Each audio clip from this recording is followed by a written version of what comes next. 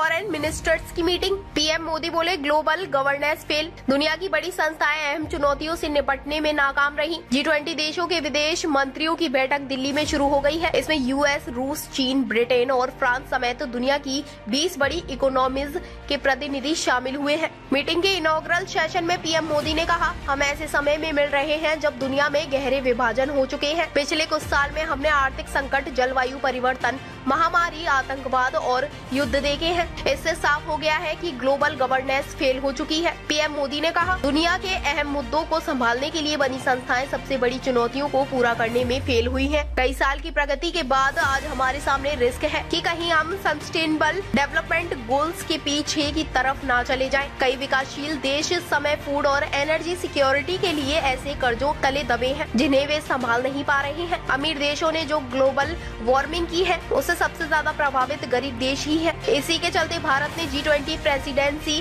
के तहत global south की आवाज़ बनने की कोशिश की है। विदेश मंत्री एस जयशंकर ने कहा जी ट्वेंटी देशों पर असाधारण ज़िम्मेदारी है। हम पहली बार वैश्विक संकट के बीच एक साथ आए थे और आज एक बार फिर कई संकटों का सामना कर रहे हैं। जैसे कोरोना महामारी, रूस, यूक्रेन जंग क्लाइमेट चेंज ज़रूरी नहीं। कि इन मुद्दों पर हम एक मत हो, लेकिन हमें साथ मिलकर हल निकालना होगा।